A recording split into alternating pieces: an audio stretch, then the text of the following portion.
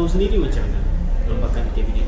Untuk UMNO sendiri saya ingat uh, UMNO itu yang kita tak tahu. UMNO UMNO sendiri yang kita bimbang UMNO sendiri.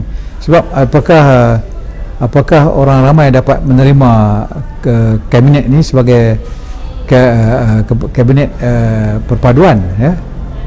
Kabinet perpaduan atau kepentingan eh, orang apa ni orang UMNO sendiri mem, uh, tidak senang dengan dengan dengan dengan uh, muka-muka baru dalam dalam politik ini kan Ha, jadi ya, itu sejauh mana penerimaan rakyat terhadap kabinet ini juga akan menyebabkan ada linknya dengan kekuatan kekuatan parti.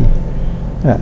Saya tak tahu lah ke mana ke uh, sukar untuk uh, untuk apa untuk membuat perhitungan.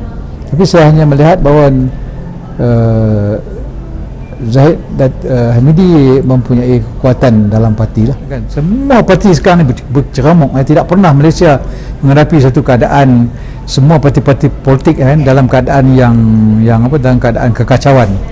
Ya jadi saya tak nampak kalau dia orang yakin pun dia orang ingat dia orang boleh ambil kesempatan daripada krisis UMNO ini. Tapi saya melihat mungkin krisis UMNO ini lebih uh, uh, nampak tetap tetap apa ada, ada perpaduan juga di, di, di, di peringkat parti walaupun tidak ada sokongan dari rakyat.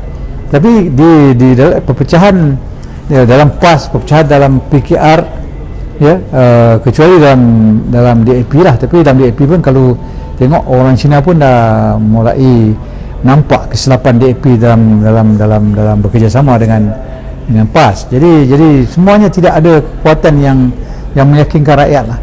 Ha, saya agak sukar sukar. Tidak mudah bagi pembangkang untuk ambil alih